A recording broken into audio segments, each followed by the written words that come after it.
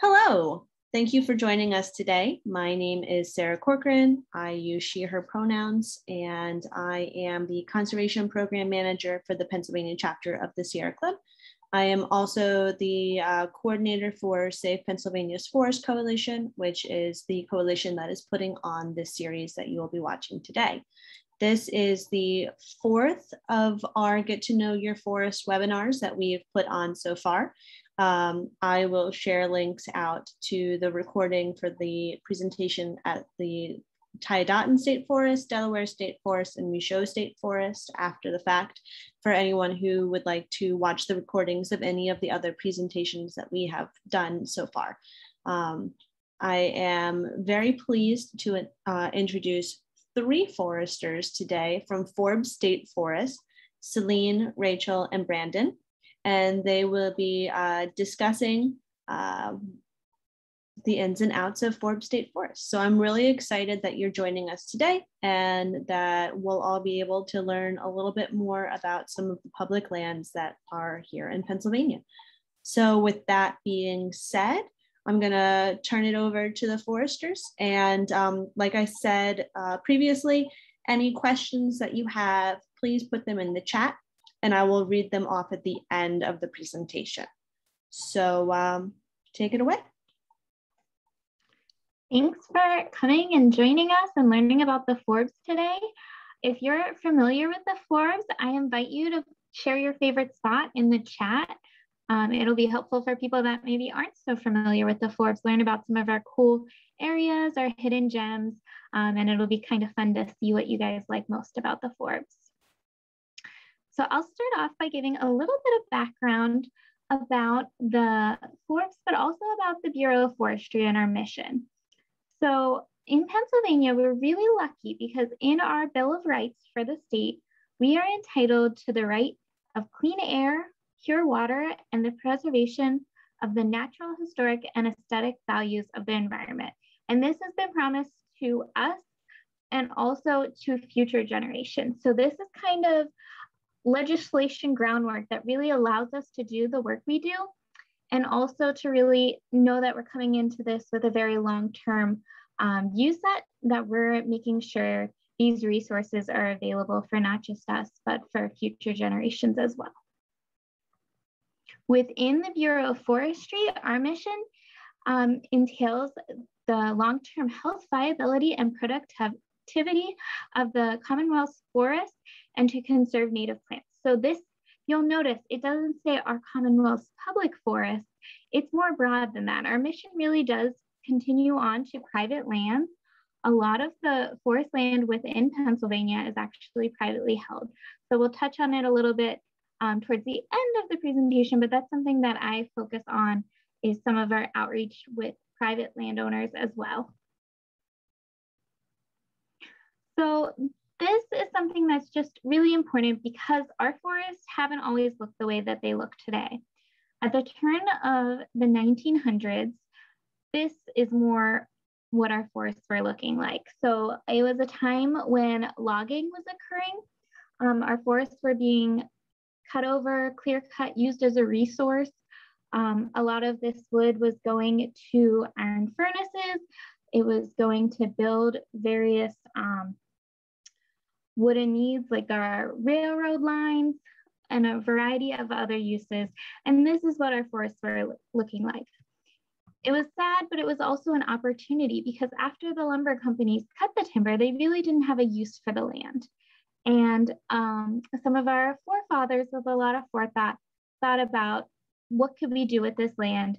And luckily we have Pinchot in our back pocket as a Pennsylvanian who was really prominent and wanted to make sure that our forests were managed using sound forestry principles, which was pretty novel at the time.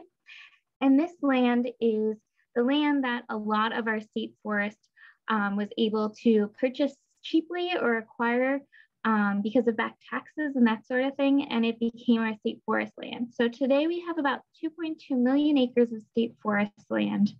Um, this gives you a little bit of history about the Forbes in particular. Our first acquisition was in 1909, so a little over 100 years ago. And from there, our forests have really changed and grown. And we're thinking about managing them in a very ecosystem um, based format where we're thinking about the services that they provide um, as a place to recreate, as a place to make sure that our water stays clean, as a place for habitat of various wildlife species. We're thinking about all these things when we manage our forests.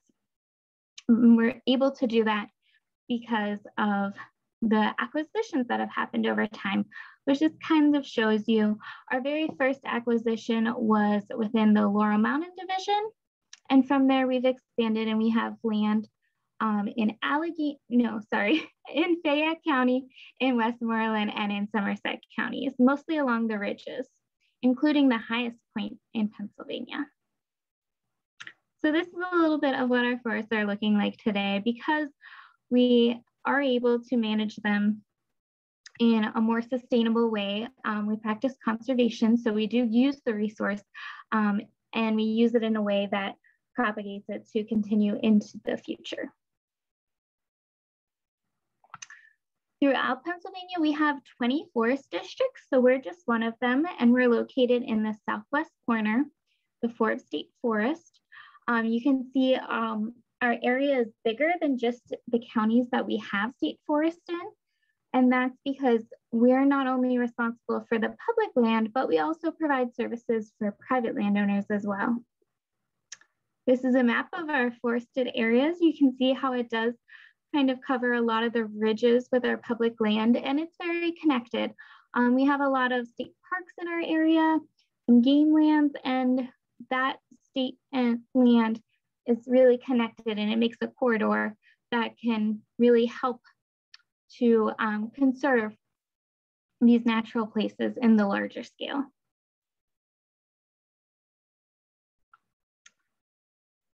Our state forest has over 60,000 acres.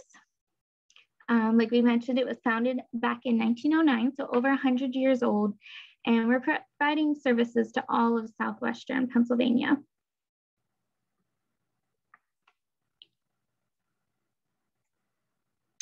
Our state forest is divided into five divisions that are along three ridges. So we have the Laurel Ridge, the Chestnut Ridge, and the Mount Davis Ridge.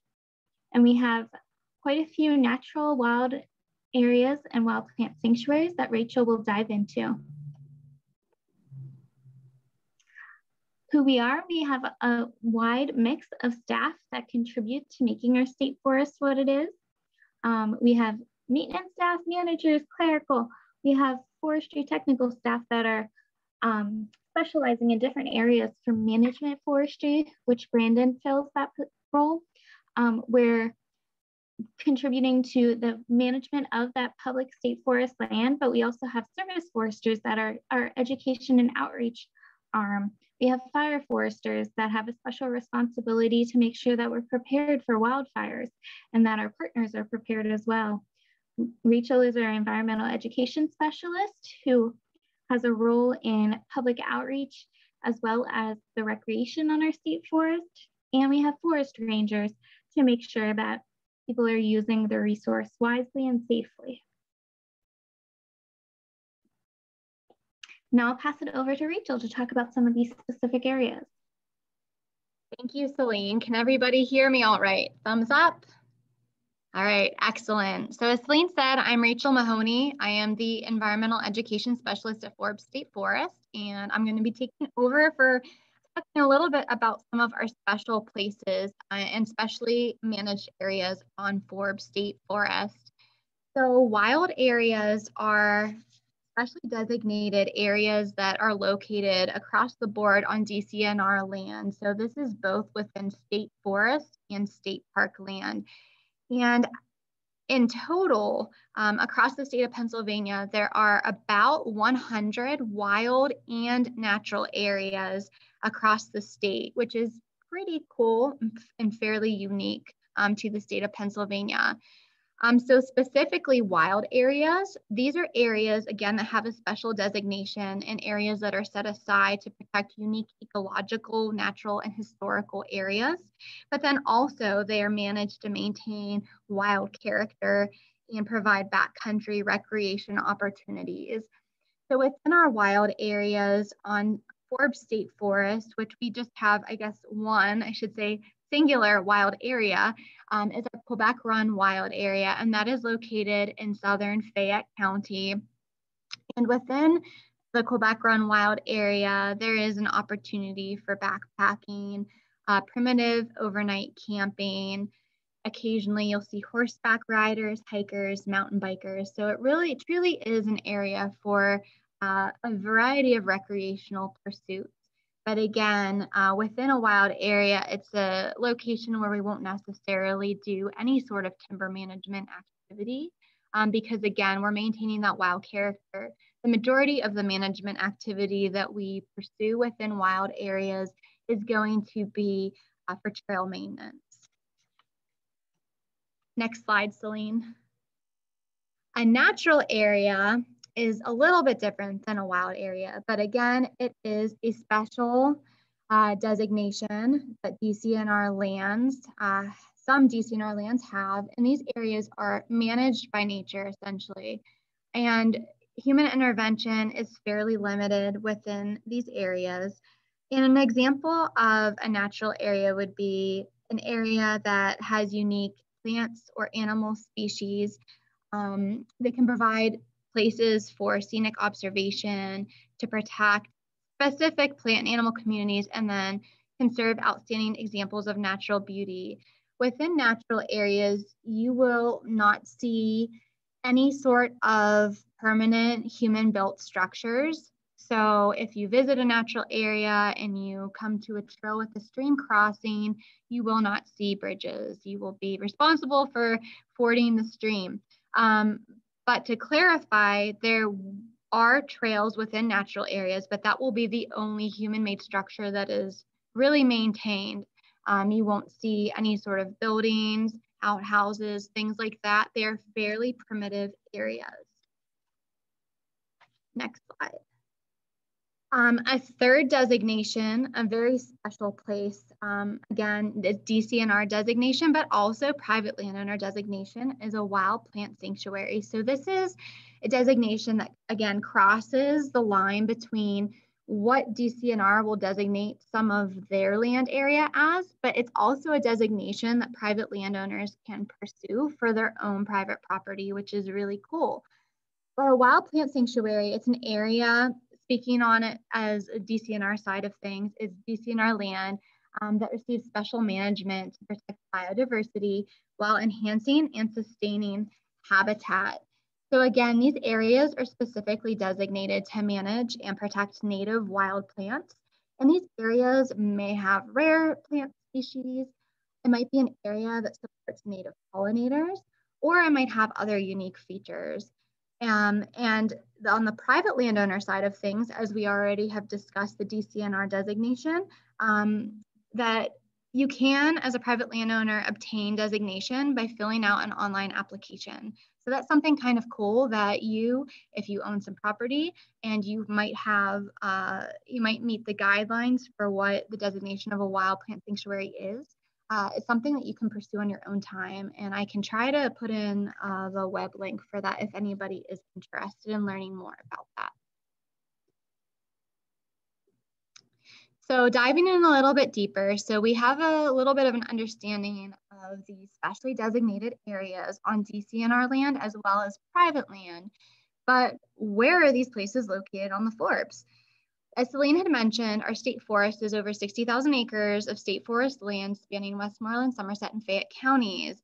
And among that forest land, we have these specially designated areas. We have the Mount Davis Natural Area as one of our natural areas. It's a land area that spans uh, roughly 581 acres. And for those of you that may be familiar with that area, it is very special because it contains the highest point in the state of Pennsylvania, Mount Davis. And Mount Davis is this rock. it's High Point Rock, as I like to call it.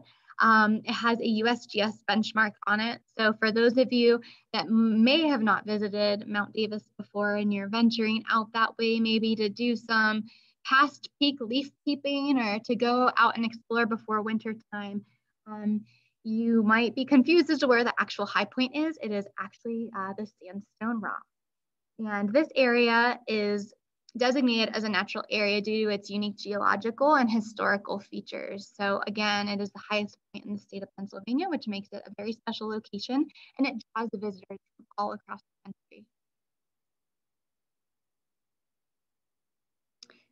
Here's just a couple of photos. Um, for those of you that have visited the Mount Davis natural area, right outside of the natural area boundary is the High Point Observation Area, and that's where you will find the High Point Observation Tower, and it stands 50 feet above the highest point in the state. So if you're feeling daring and you're not too afraid of heights or too shy, um, you can climb up that tower.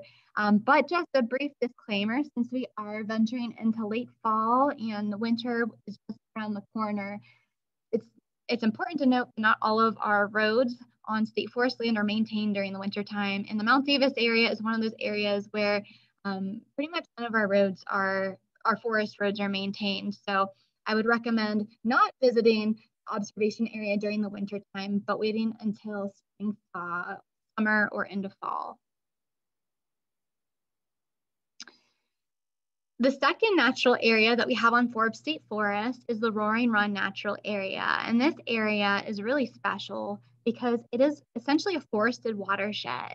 Um, this land area encompasses most of the Roaring Run watershed, which is something that you don't ordinarily see within um, a natural or a wild area designation. So that makes this space very, very special. About 3,500 acres in size and is located on the western slope of the Laurel Ridge.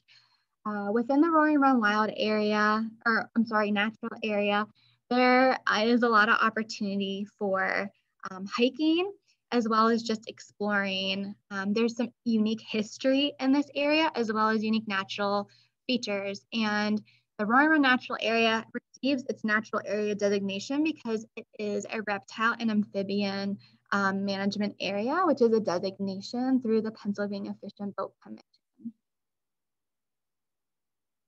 Here's a few photos. Since I can't bring you all out on a hike today, I figured I'd bring the hike to you virtually. I'm big into uh, pictures. So a few photos that I've taken throughout the years uh, that I've been at Forbes of Roaring Run, the stream itself. If you're ever feeling daring and you are looking for an adventurous hike, you can venture onto Roaring Run Trail and 30 stream crossings. So again, within natural areas, there aren't footbridges, so you, your feet will get wet. Um, so I always recommend that folks come prepared with an alternative pair of shoes, but it, it truly is a gorgeous and special area. And then lastly, um, we have one wild area on Forbes State Forest. It's the Quebec Run Wild Area I briefly mentioned before. It's about 7,400 acres in size, and this is located along the eastern slope of the Chestnut Ridge in southern Fayette County. Um, within this area, there are two pristine um, bodies of water, Mill Run and Quebec Run. And Quebec Run is actually a designated wilderness trout stream with native brook trout. For so for those of you that are into fly fishing, recreational fishing, this is a really great area to check out. And even for those of you that again are into maybe mountain biking, um, backpacking, hiking, things like that, it is a really beautiful area um, to check out. I strongly recommend it. And I think that anytime anybody asks me, you know, what's your favorite place on the Forbes, this is definitely in my top two. It really is a hidden gem um, and definitely worth checking out. Here's a few photographs. The picture in the upper left-hand corner, that is of uh, Mill Run.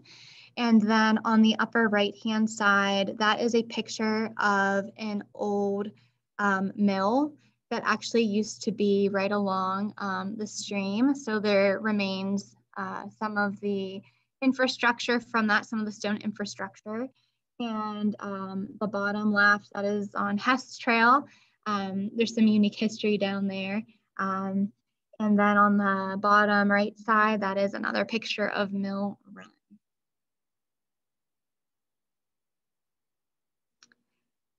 So I'm talking an awful lot about these special area designations.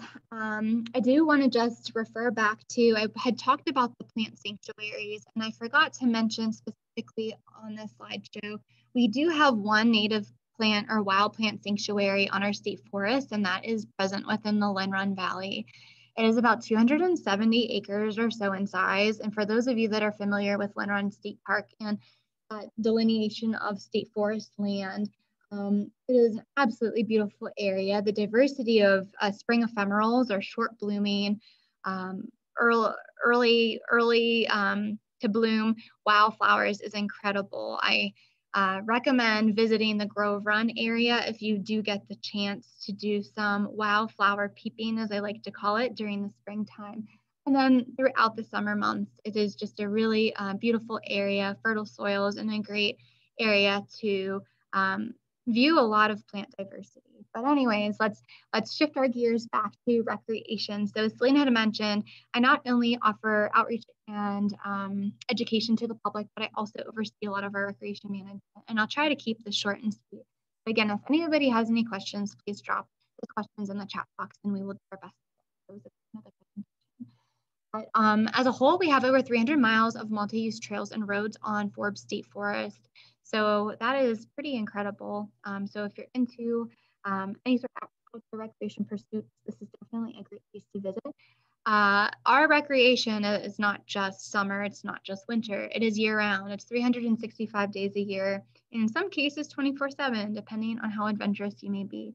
But as a whole, the Bureau of Forestry manages our recreational resources much differently than our state park counterparts do. We manage for low density recreation on our state forest, which means um, the amount of trails that we have available, they're going to be in some instances much less, much more spaced out. We have a whole separate set of guidelines that we follow um, in order to um, follow our mission and manage our recreational infrastructure.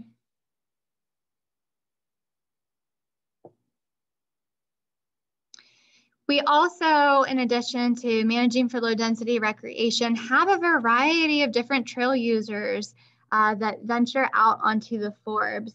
So to aid the public, to aid you guys with understanding what is permitted where, we have different trail blaze colors, which are just the marks on trees um, that designate different recreation uses, uses. So the blue blazes, those mean that those trails are shared use. However, during the winter months, those trails are maintained for cross country skiing. So often those blue blaze trails, whenever the snow flies, are going to be cross country ski trails and they are also going to be groomed and maintained by volunteers. So it's really important that if you visit areas with these blue blaze trails and areas that are well known for cross country skiing to be mindful of the skiers and to stay out of their tracks.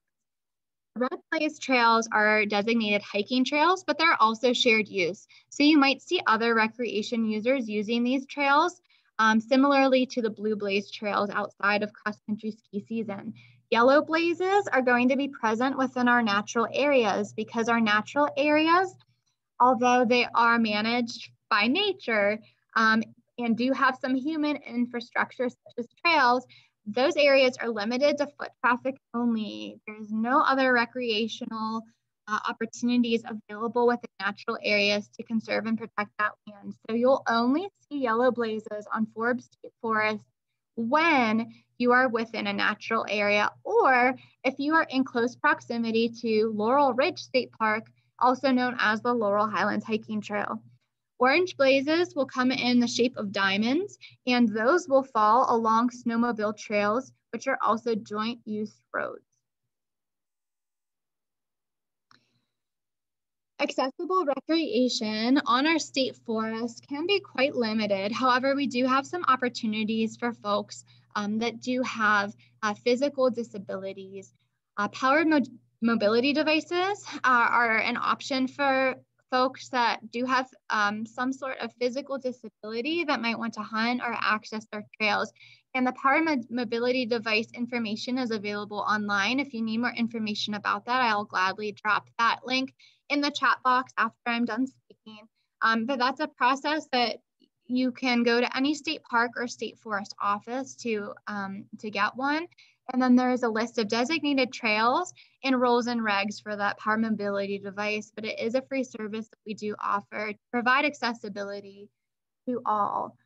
Um, again, accessible trails can be challenging on a state forest. We are fairly primitive um, in comparison to state parks, as well as just having the low, dense low density recreation opportunity. Um, but we do have some accessible trails. And to get information on that, you can look on DCNR's website or contact us specifically at the Forbes and we can help you with that information. We do our best as well for inclusive programming opportunities offered by our service foresters, as well as myself as an environmental educator, offering programming to a wide variety of age groups, people of different walks of life, families, elderly individuals, people with disabilities. Um, so there are lots of outreach and educational opportunities available. If you would like that, you can check our website or contact us directly.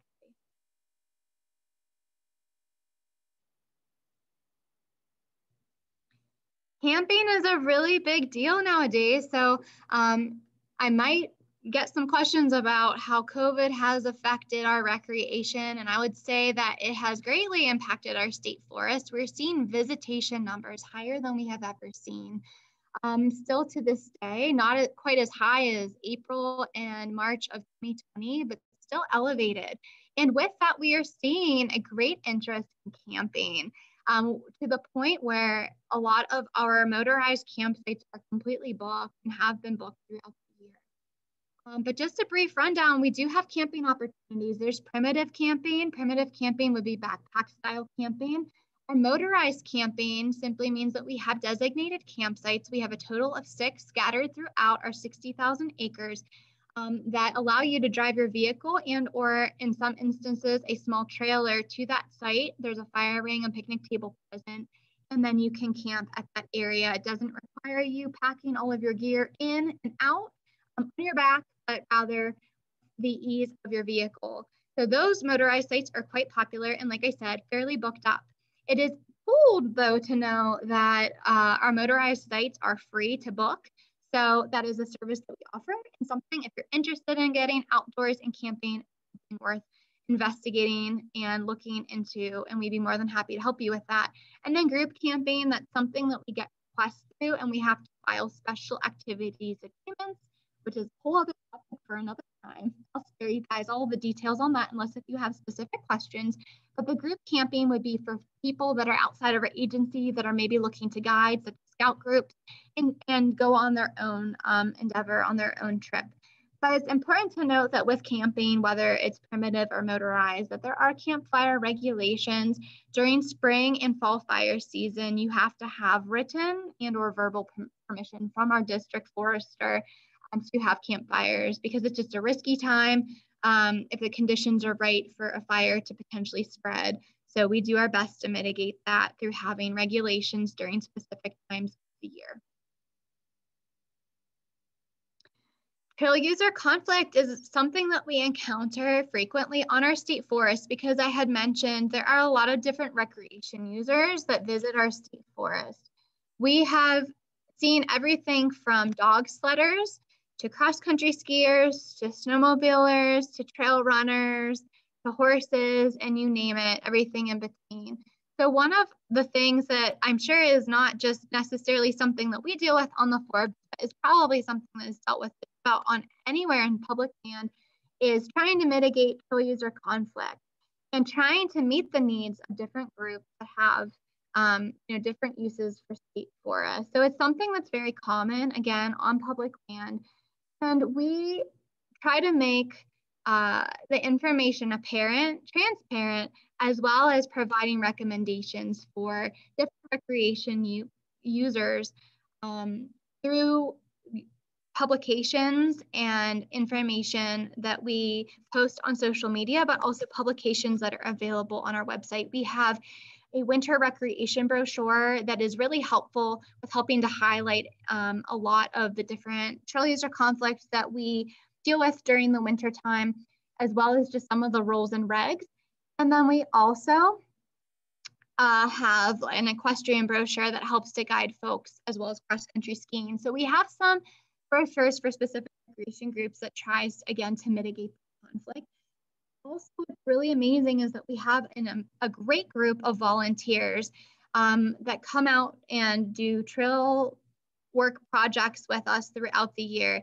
And we have people from just about every walk of life, every uh, recreation group comes out to represent their special use on state forest. And we all work together to solve the same problem and reach the same goal, which I think provides the opportunity for discussion among these different groups and helps aid in mitigating some of this conflict.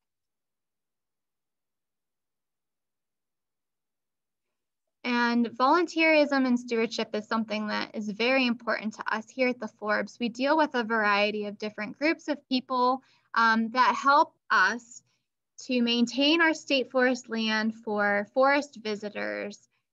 As some of you may have heard of, you know, going back a brief history lesson, the Civilian Conservation Corps, the CCC, kind of laid out the framework for a lot of our volunteer groups within DCNR lands. And if you're not familiar with the Civilian Conservation Corps, it was a program that was enlisted as a result of the Great Depression. Uh, Frank, uh, President Franklin D. Roosevelt started this program as a part of the um, New Deal and employed men from ages 18 through 25 to do a lot of the conservation work that is that now today um, help to construct many of our state parks and state forests infrastructure. So they really are, the CCC is really the legacy of a lot of our volunteer groups that present today across our public lands. But on Forbes specifically, we have the Youth Conservation Corps, and this is a group of young adults that is a partnership among Forbes and the Loyalhanna Watershed Association. We employ college students to come out and do conservation work for us throughout the summer. Um, I have a few photos down below of, of some of these groups throughout the years, and they're really a joy to work with also have the Pennsylvania Outdoor Corps. So the POC, as we like to call it, they are not specific to the Forbes, but across all of DCNR's land. So the Pennsylvania Outdoor Corps is a program that was just started a few years ago. Um, and it enlists uh, college students and high school students in conservation projects across state parks and state forests. And then lastly, we have our Laurel Mountain Volunteer Group, which is state forest and this is where we get those different recreation users together to accomplish the same goal of working on and maintaining our trail systems in the Forbes. And then uh, a, a, shameless plug I'm putting in is that we're starting a trail steward program on the Forbes, which I am super excited to get moving on um, during the winter time this year. But if you're interested in learning about uh, that Adopt a Trail program, you can contact me directly. I'd be more than happy to provide you with the guidelines for that. Um, and then we also do op offer job shadowing opportunities as well for high school students and college students to come out with us and learn about our careers. And then just brief trail etiquette. Um, I know I'm, I'm talking a lot. I told Selena I was a storyteller, so I'm going to keep this as concise as possible. But trail etiquette is something that's really important for every uh, forest visitor to keep in mind. So just like how we have, you know, call them trail manners essentially. So just like how we have manners in everyday life, you know, got to have manners on the trail. Other trail users is super important and doing your best to mitigate conflict. You can't always make everybody happy, but you can try your best to know the rules and regulations in an area before you visit. Do a little bit of homework, do a little bit of research so that you can assure that you have an enjoyable visit, but others also have an enjoyable time on the Forbes. Um, so this trail etiquette, you know, um, if you are hiking and you're going uphill, you know, hopefully someone coming downhill will yield to you because you have a much harder time going uphill. Something as simple as that.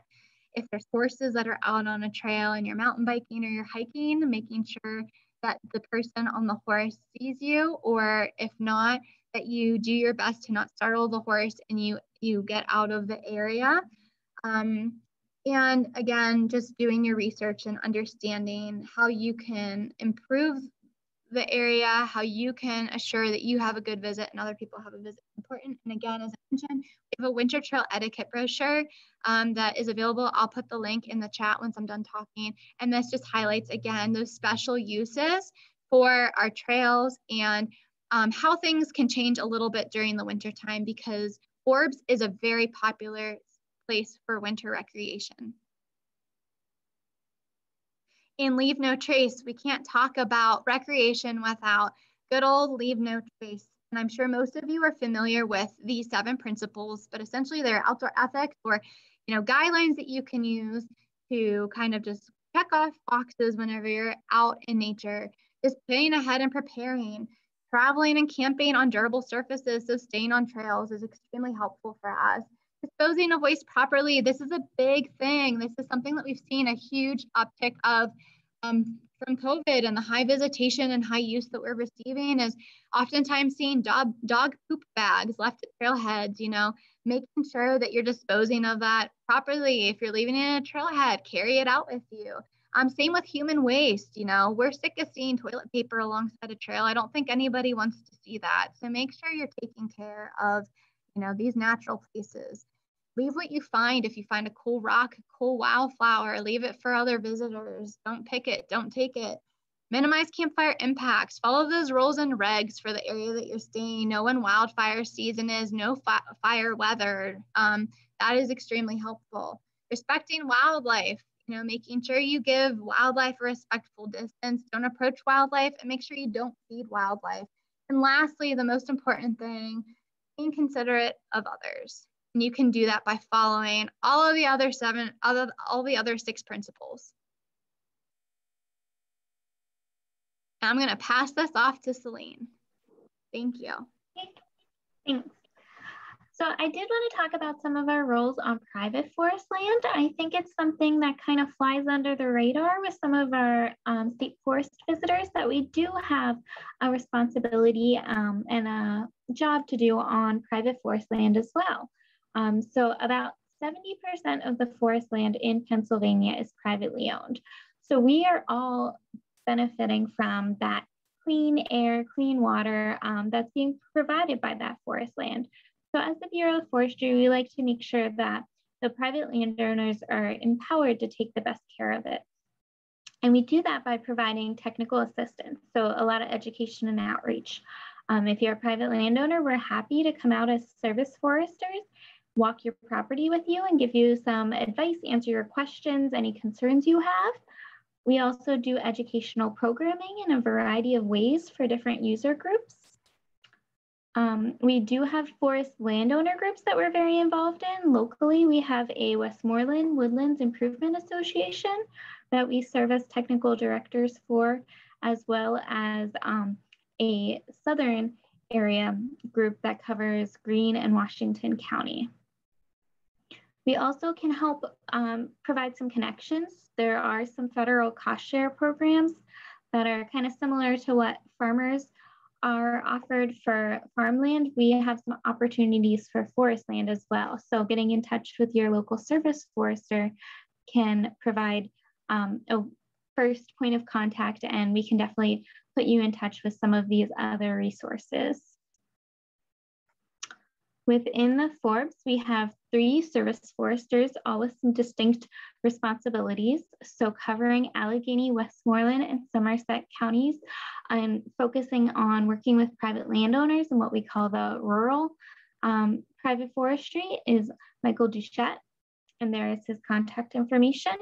Um, for working with the rural landowners in Washington, Greene, and Fayette counties is Russ Gibbs. There's his contact information.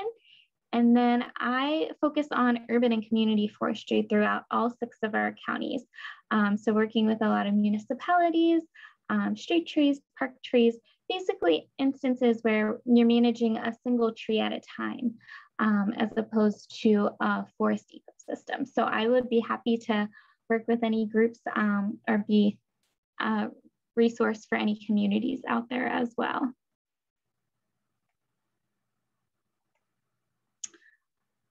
So a little bit about our urban and community forestry program throughout the state.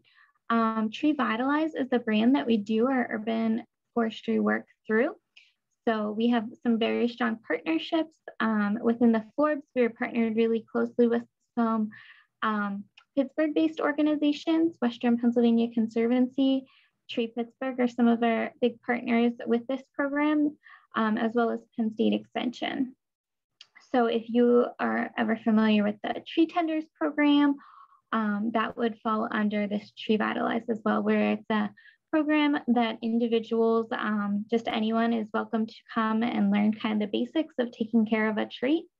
Um, and that's a training that uh, helps communities to better manage their trees. It helps individuals to plant trees um, that are going to live for the long time. So we do a lot of tree plantings in urban and community areas with some money that is from the US Forest Service as well as DCNR with these partnerships.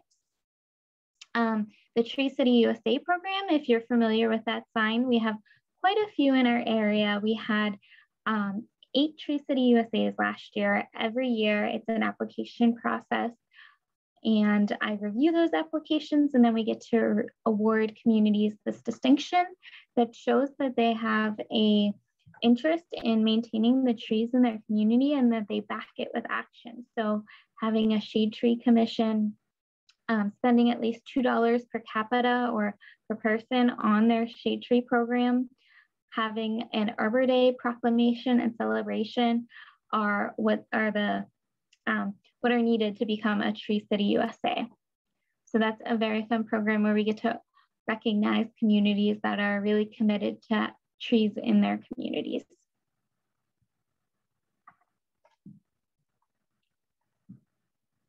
And now I'll pass it over to Brandon, our management forester. Okay, can everyone hear me? Yes.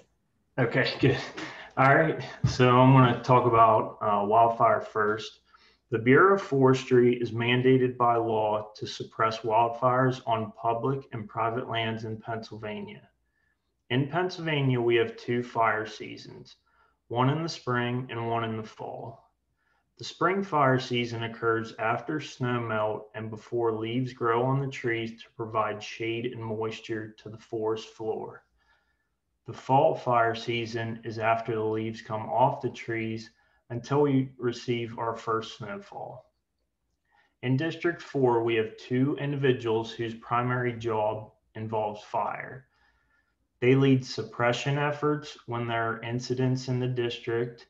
They investigate causes of wildfires, provide training to volunteer firefighters, and deputize game wardens. Fire wardens act as field representatives to suppress, investigate, and report wildfires during the fire season.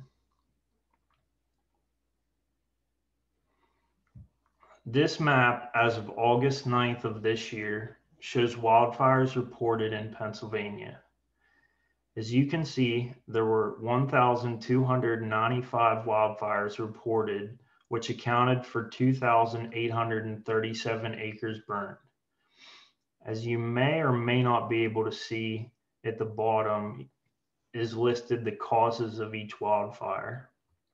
Debris burning was the leading cause of wildfires started in Pennsylvania and it's caught but it's by a large margin.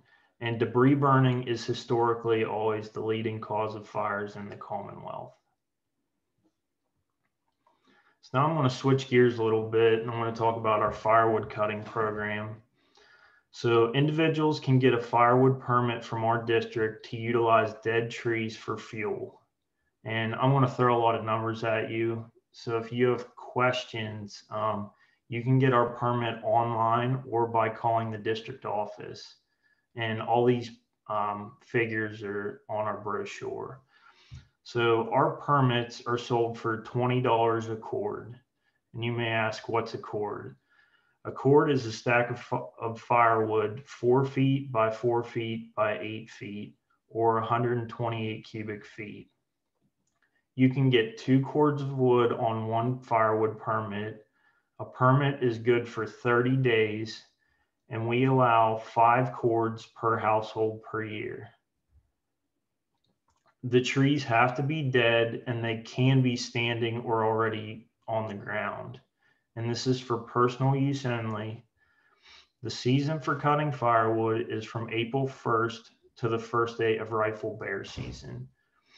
And when you get your permit, you have to select which division you plan on cutting in.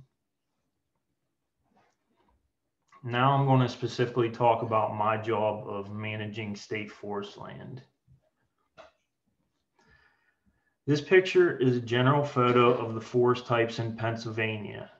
We further break these down into smaller units called stands that are categorized by zoning, timber type, timber age, productivity of the site, and commercial availability.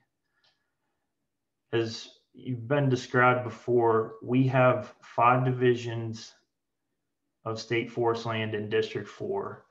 And they kind of described where they are to you. We have one area in the southeastern tip of Westmoreland County, which runs in over into Somerset County. We have land in the western part of Somerset County. Mount Davis, the highest point in Pennsylvania, is in south central Somerset County. And we have land, which is where I manage in south central Fayette County, which runs down to the West Virginia border. We have a diverse forest making up Appalachian oak, northern hardwood forest, and mixed mesophytic forest types.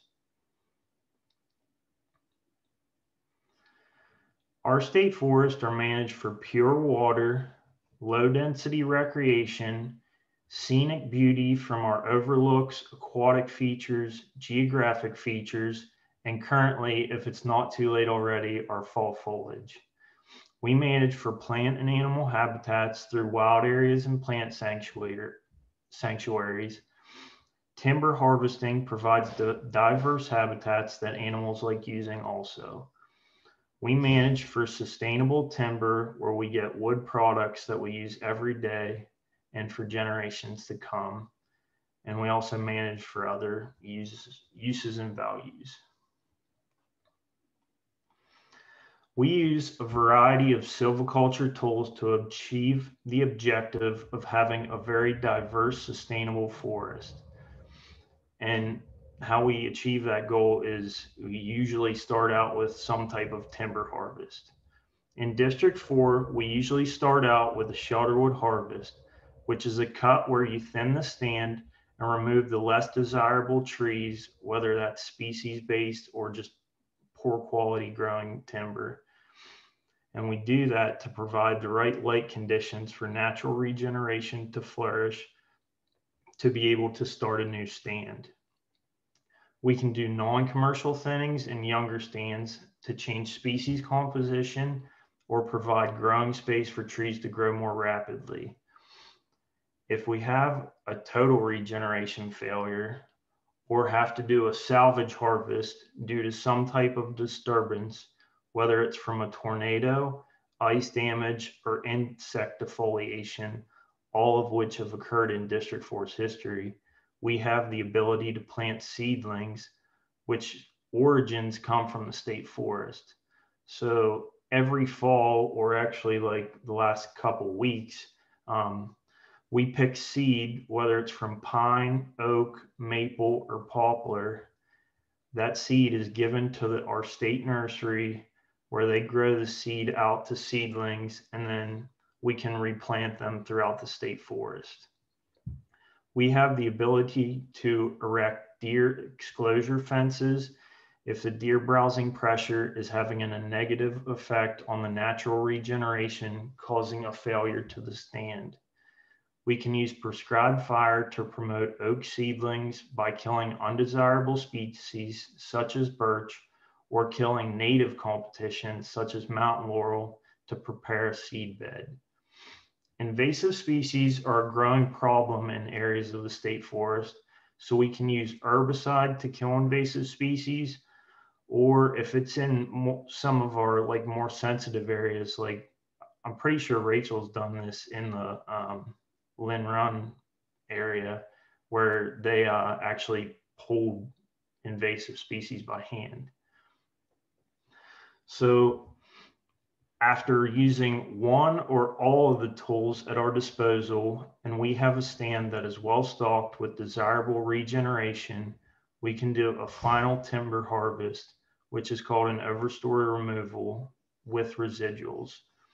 There are instances when you have the ability to go straight to a clear cut with do, without doing any type of preparatory cut in the stands if you have enough advanced regeneration with little or no competition. I wanted to stress that we have aquatic buffer guidelines to save trees along aquatic features, and we have aesthetic buffer guidelines to save more trees along roads and trails. So we do not do your typical clear cut that everyone thinks about where there are zero trees left after our final harvest. We always have residual trees left throughout the stand.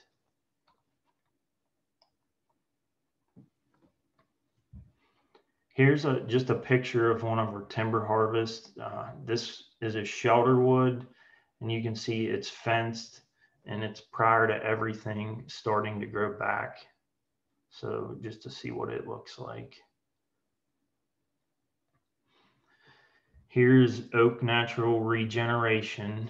And that is what we strive for because it is less time and money to achieve, to achieve our mission of ensuring the long-term health, viability, and productivity of the Commonwealth's forest and to conserve wild plants. We do that by promoting a diverse forest with a balanced age class, and it's to provide a sustainable yield of forest products for generations to come. And lastly, we are dual certified by two third party independent organizations, one being the Forest Stewardship Council or FSC, and the other is the Sustainable Forest Initiative or SFI. And what they do is they audit us every year and make sure we are doing sound, sustainable forest management, whether that is through timber sales, wildlife habitat, or working with user groups such as yourself. And that's all I have. So thank you very much. All right, folks. Um, thank you so much for your presentation today. Um, we are going to open it up to Q&A. There are some questions in the chat that I'll be reading off momentarily. I do want to recognize that it is a little closer to one o'clock right now than we had initially um, thought that we would be. So um, the present, you're all okay with staying a few minutes over so that way we can answer the questions.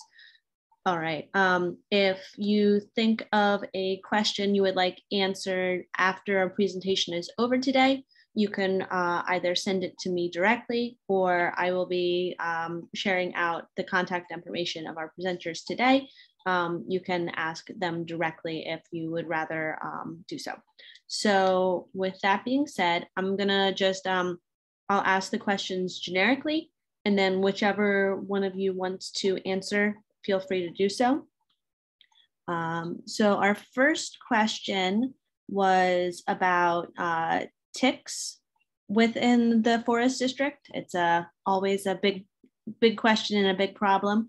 So um, they were asking if they if you have any specific information on ticks or tick spread disease prevalence within the state forest. Um, I don't know, Brandon, if you have any any more insight, but we don't have any specific data on our state forest uh, tick population, but if you are not familiar with East Stroudsburg University of Pennsylvania has the tick lab. Um, if you just go on Google, you can type ticklab.org or Pennsylvania Tick Lab, and you can actually sign up for a weekly uh, newsletter that has a tick report attached to it, and it will educate you on the prevalence of adult versus nymph versus um, deer tick versus other species or varieties of ticks in the state and how prevalent they are during that week time frame. Um, so that is extremely helpful and a tool that we use, um, but we do not develop. So if you don't know about the Tick Lab, I strongly urge that you check that out. And they also offer a free tick testing service to all of Pennsylvania's residents. So if you or a pet has an embedded tick, you can retrieve it. You can go on the Tick Labs website. You can print out a receipt and mail it into them, and they will test that tick for you for any tick borne illness or disease, which is an amazing service. And it's something that I personally have used many times. And I know that our Bureau um, has partnered with them and we utilize that as well. So sorry that wasn't very specific, but that's the best answer we have because that's the tool that we all use here. I love. Yeah, I would, I would just stress too. Anytime you go out in the woods, always check yourself because people are under the assumption that uh, is this a down year for ticks or not? Every year is they're bad all, the time. If you're in thick brush, you're gonna have ticks on you. Uh, our next question is specific to Quebec Run. Um, they were wondering what access is like to the mill at Quebec Run, and uh, they want to know why the mill is located where it is. Yeah, that's a great question. I saw that. So the grist mill is located along Mill Run. So um, it used water power in order to grind the um, like cornmeal or wheat down into um, flour or cornmeal. Um, so that's why it was located along the stream. Now, if, and I did in the chat, I dropped a link for all of our maps and publications that we have at the Forbes. If you open up the Quebec Run map, um, the grist mill remnant, so that stone wall is present at the intersection of grist mill and mill run trail. So right along um, where the stream is located. It's, it's right off of the trail. It's very easy to spot. The trail is right above the grist mill and the grist mill is just a few feet below um, where the trail is located, but it isn't hidden. Um, it is very apparent in this time of the year with all of the leaves falling. It will be much easier to spot. Uh, the next question references ATV use within the state forest.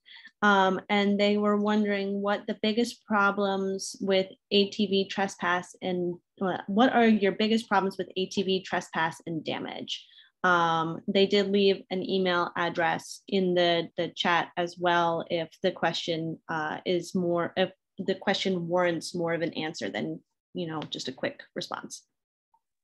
Um, I can't really speak on behalf of, you know, our law enforcement rangers. Our forest rangers would be, um, you know, who could probably answer that the best. They are the individuals that deal with uh, much of the illegal ATV activity on our state forest. Um, so I don't, you know, I can't answer that um, to a T, but I can say we do deal with some illegal ATV activity, um, and our law enforcement uh, deals with with those individuals. Um, the next question was asking if there were ever any um, tours or um, public programs to uh, teach more about the steps between harvests um, or tim timber management in general. Yeah, so um, every year our Westmoreland Woodlands Improvement Association does a tour on the Forbes State Forest, usually the Laurel Mountain Division. Um, so keep an eye out for that. And they also do a lot of other educational activities, like bringing in different speakers and that sort of thing. So definitely a cool resource. Um, but that is our annual tour. We partner with them to do that. Oh, and what time of year was that annual tour again? It's usually late summer. Um, our next question was uh, wondering if uh, the Forest District ever does any seedling sales as a form of fundraising. We do not. Um, our seedlings that are grown at Penn Nursery have to be used on public lands per um, an agreement with the Nurserymen's Association. But um, Howard Nursery, the Game Commission's nursery, does do annual sales for their seedlings. Um, the order forms come out at the beginning of the year, like January, and they go pretty fast. And then the seedlings are delivered in April when it's nice to plant them. So keep an eye out for them. The next question was asking um, if uh, the foresters keep in mind the concept of mother trees when managing the forest.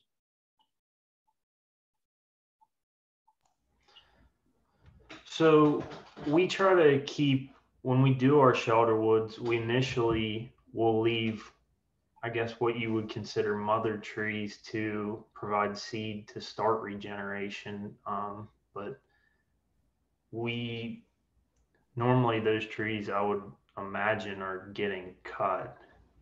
Um, but we do save, I mean, I think what the state forest is 60,000 acres in District 4, and I want to say 27,000 acres is all we're um, allocated to cut on. So we're we're actually not cutting on over half of the state forest in District 4.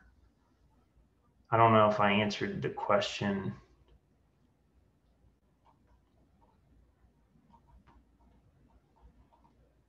Um, I don't see a follow-up message in the chat, um, but if um, further clarification needs to be made for that question, Rachel is sharing the contact information in the chat for all of the presenters today.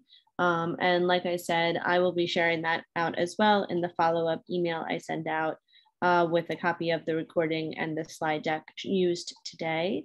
Um, I have I have a question, Rachel. Would you be able to share out um, the link for access to the um, powered mobility devices that you mentioned earlier? All right. And all of the links that are shared, I will also share out in the follow-up email.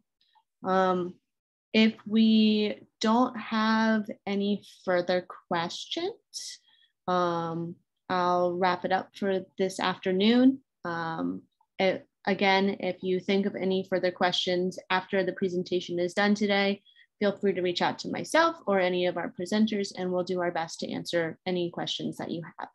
So um, thank you again for attending our presentation today and thank you to all of the foresters who took time out of their day to tell us more about one of our 20 awesome forest districts within the state. Um, enjoy the rest of your afternoon.